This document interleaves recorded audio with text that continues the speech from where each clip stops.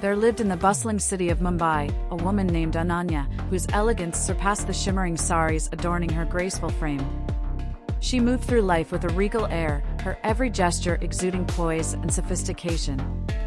Despite her affluent upbringing, Ananya's heart overflowed with compassion and love for those around her. Ananya's love story began amidst the vibrant colors of a traditional Indian wedding, where she met Arjun, a dashing young businessman with a captivating smile.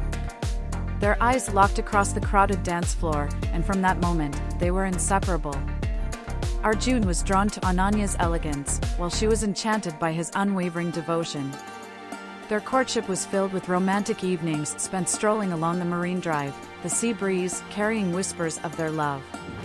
Ananya's love for Arjun blossomed like the fragrant jasmine flowers in her hair, filling her heart with joy and contentment.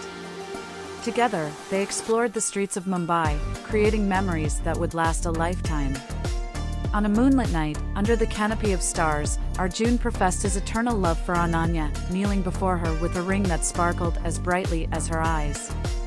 With tears of joy glistening in her eyes, Ananya accepted his proposal, knowing that their love would endure all the trials and tribulations life may bring.